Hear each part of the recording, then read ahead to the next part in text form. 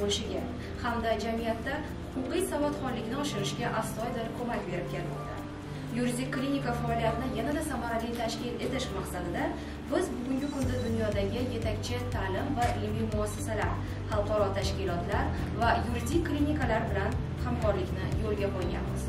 Hamkorlarimiz orasida bmd taraqqiyot dasturi usaid aqshning street law kompaniyasi bmdning narkotik moddalar va jinoyatchilik nazorati bo'yicha ofisi kabi tashkilotlar mavjud biz esa ayni daqiqalarda ushbu hamkorlik doiralarini yanada kengaytirish arafasida turibmiz tadbirimizni ochib berish uchun esa so'zni toshkent davlat yuridik universiteti rektori vazifasini vaqtinchalik bajaruvchi professor rustambekov islombek rustambekovichga beramiz. Marhamat. Umuman xalqimizni muammolarini o'rganib ularni ularga yordam berish huquqiy yordam berishga chaqirish biz uchun asosiy ustuvor vazifalardan qilib belgilangan mana shu maqsadda yuridik klinikamiz faoliyati tashkil etilgan ular bevosita mana kelib murojaat qiladiganlar bilan yaqindan ishlashadi. Ularni muammolarini hal qilishga harakat qilishadi. Shu loyihamiz doirasida ya'ni nogironlik bor shaxsda o'sha ota onalar uchun bepul e, maslahat.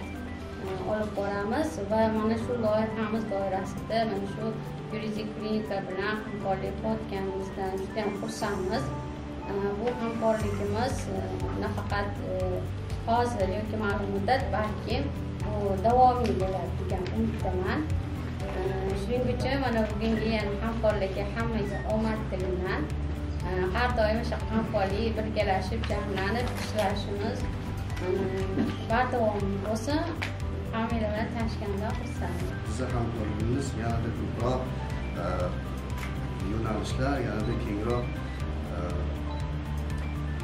hajmda rivojlanadi degan umiddamiz. Birinchi yutug'im shundan iborat bo'ldiki agarda kirilgan ilgari masalan kasb-o'quvlar bironta sudga boradigan bo'lsa ularni ishlari sudda ko'rilsa ularni sudda tarjimalar taklif qilinmagan.